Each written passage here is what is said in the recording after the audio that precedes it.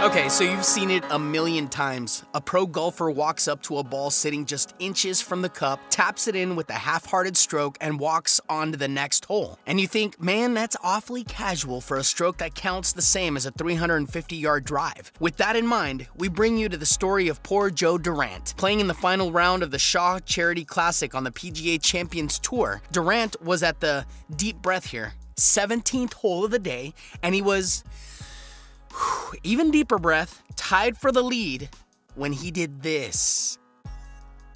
Oh no! Durant misses a short one at 17 and falls out of a share of the lead.